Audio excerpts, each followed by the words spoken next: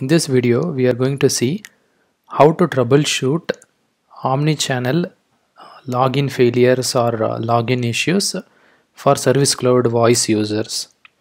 So once you select omni-channel widget uh, in phone under phone, make sure you log in. So I have set my status to phone available. So now it will enable this gear icon. So once you click this settings,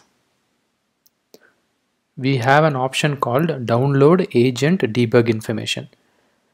We have to click this download agent debug information to download the logs.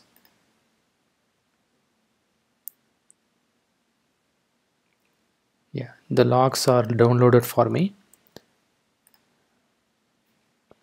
Open it.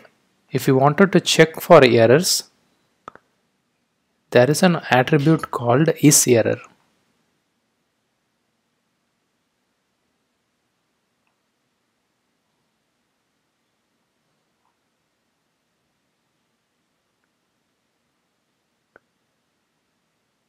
yeah so far no exceptions looking good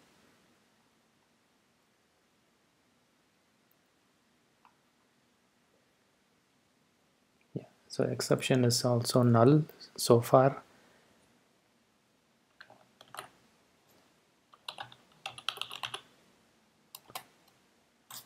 yeah search for is error if you see anything with is error equal to true then you will know for what reason it got failed so using this we can easily troubleshoot omni-channel login failure or issue for Salesforce Voice Cloud users.